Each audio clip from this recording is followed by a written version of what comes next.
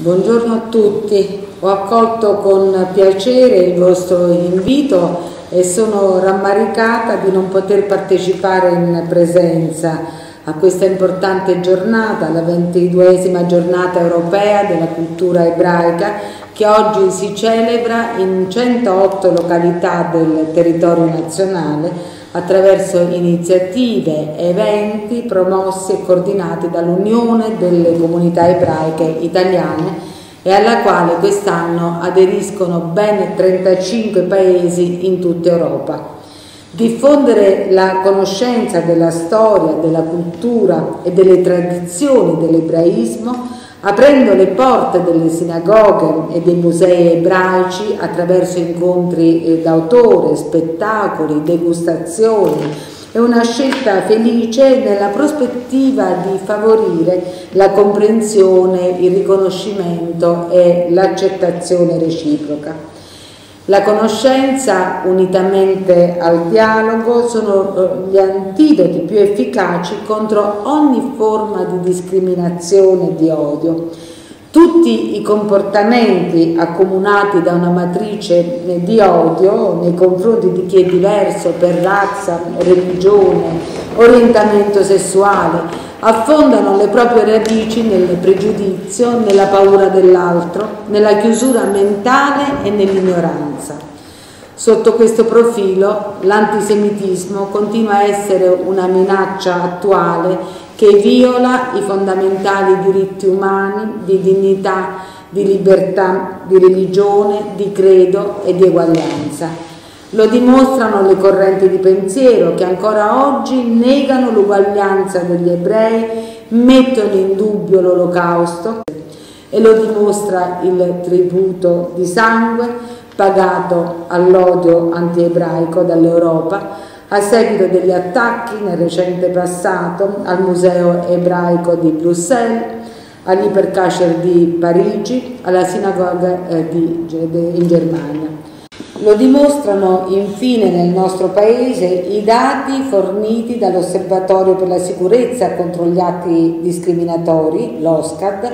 che registrano 91 casi di reati d'odio di matrice antisemita nel 2019 e 212 nel 2020.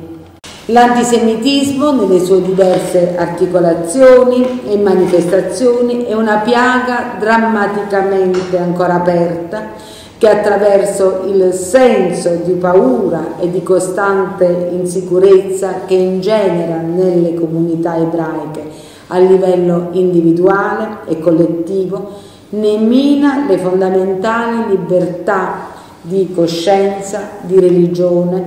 e di espressione della propria identità e della propria cultura.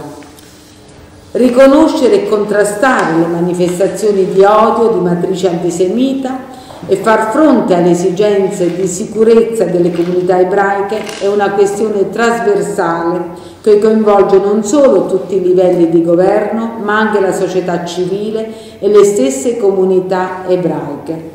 La lotta all'antisemitismo in tutte le sue manifestazioni, ivi incluse quelle online, particolarmente allarmanti in una società sempre connessa qual è quella contemporanea, richiede un approccio e uno sforzo globale. Accanto all'impegno delle istituzioni e delle forze di polizia è essenziale il coinvolgimento responsabile e attivo dei fornitori di servizi internet per la pronta rimozione dei messaggi di incitamento all'odio e dei contenuti terroristici illegali e del mondo della scuola e dell'informazione. L'istruzione e l'informazione in materia di olocausto, antisemitismo e vita ebraica, è importante ribadirlo, rimangono gli strumenti più importanti per prevenire pregiudizi e manifestazioni di odio e di intolleranza. Questo sforzo collettivo non può tuttavia prescindere da un costante ascolto, scambio e confronto propositivo, in una parola non può prescindere da un rapporto di dialogo con le comunità ebraiche. e in tale prospettiva si muove la strategia europea contro l'antisemitismo presentata dalla Commissione il 5 ottobre scorso per la prima volta nella storia delle istituzioni eh, eh, eurounitarie che definisce in un arco temporale decennale una serie di azioni incentrate su tre pilastri, prevenire ogni forma di antisemitismo, incoraggiare e proteggere la vita ebraica in Europa, promuovere attività educative e di ricerca dedicate alla memoria della Shoah. Nella stessa prospettiva di approccio, di approccio globale mh, e, e confronto con le comunità ebraiche, il Ministero dell'Interno orienta la propria azione. Ricordo sotto questo profilo l'impegno dell'OSCAD istituito proprio per rispondere alla domanda di sicurezza delle categorie vulnerabili, potenziali vittime di crimini d'odio, diretto ad agevolare la denuncia e l'emersione dei reati di matrice antisemita e a sensibilizzare e formare gli operatori delle forze di polizia al loro riconoscimento. In questi ambiti di attività la collaborazione dell'OSCAD con l'Unione delle Comunità eh, Ebraiche in Italia e con il Centro di Documentazione Ebraica Contemporanea ha condotto a lusinghieri risultati in termini di conoscenza, prevenzione e contrasto dell'antisemitismo. E faccio riferimento anche alla realizzazione di una guida all'ebraismo per gli operatori di polizia,